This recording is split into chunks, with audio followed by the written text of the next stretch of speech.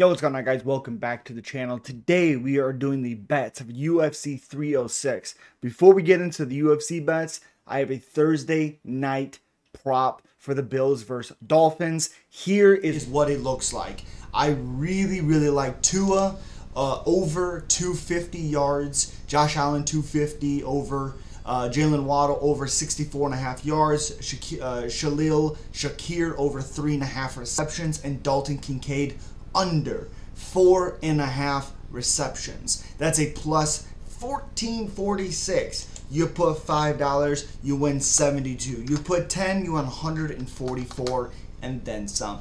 Those are my picks for the NFL's Bills versus Dolphins game. Now, look at the UFC.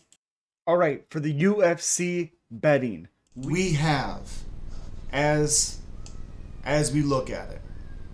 Okay, we have Raul Rosas Jr. money line at minus 850.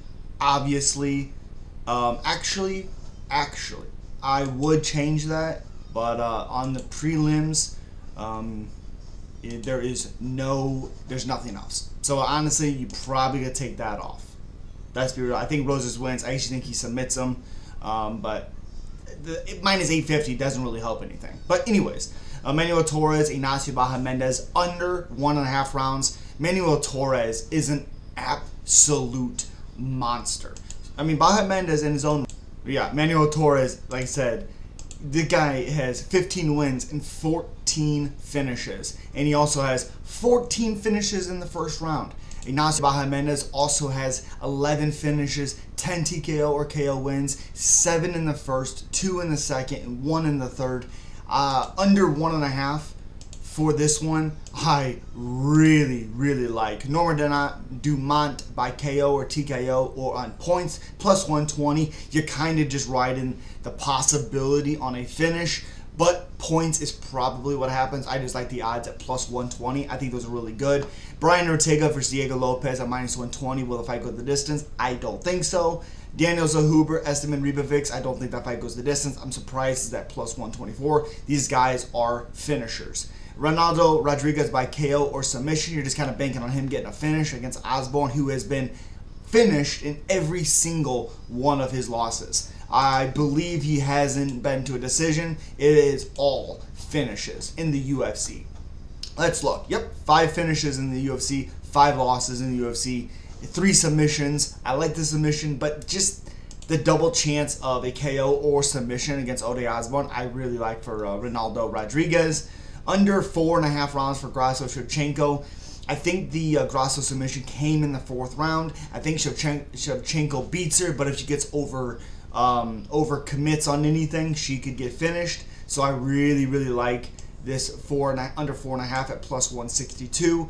And then for the easiest bet for me, honestly, is Sean O'Malley round one, two, or three. Alternate bet round betting five rounds plus 220. I think he flatlines Marab Merab Dvalishvili. I think Merab's takedown entries are absolute dog water. They're so fucking bad. It's ridiculous. Sorry for the cussing for those under the age of 18.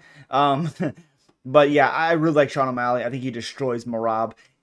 People keep talking about Sean O'Malley getting tired. The only fight he's ever gotten tired on in is the Petr Yan fight. Petr Yan had some really, really good entries with his takedowns, much better than Merab does, but he doesn't have the pace or the cardio to keep up with Merab. Obviously, that's why Yan lost that one. Um, I don't think that just because he lost to Merab, it takes that away. I just, I just think Merab's takedown entries are absolute terrible. Can he? He's very, very good if he gets when he gets fighters' backs. Um, I think Sean will have the ability to stand up, but the, the problem with Merab's style is you can't afford to get hurt, to get cracked by Sean O'Malley. You can't. If if if Sean O'Malley lands the knee that he landed against Chito with Merab, Merab has zero head movement, just marches forward. There's nothing there.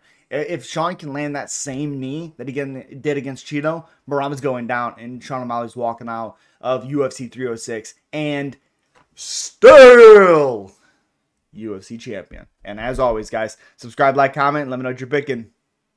Peace.